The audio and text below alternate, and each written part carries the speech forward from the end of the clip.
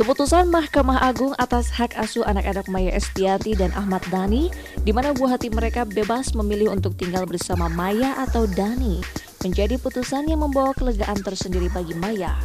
Pasalnya dari dulu, Maya memang tidak ingin anak-anaknya diasuh oleh ayah atau ibunya saja, agar bisa tercipta keharmonisan antara Maya dan Dani meskipun keduanya sudah resmi bercerai. Kedua, eh, anak-anak boleh milih bapaknya atau ibunya ya kan. Itu eh, hal itu adalah hal yang pengen dari awal dari pertama kali pertengkaran itu memang saya pengennya anak-anak bisa di Mas Dani bisa di saya bukan hanya dikuasa di di, di, di dikuasai Mas Dani pribadi ya kan? Itu hal yang saya memang saya saya sangat pengen.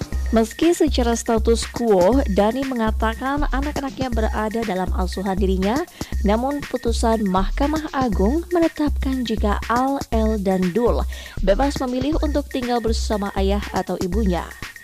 Bagi Maya, semua itu hanya sebuah peraturan di atas kertas saja, di mana buah hatinya Al, El, dan Dul bebas memilih untuk tinggal bersama dirinya atau Ahmad Dhani. tapi kan gini masalahnya kan kemarin saya menang juga anak-anak nggak dikirim ke saya ya kan? Sekarang juga anak-anak tetap eh, apa?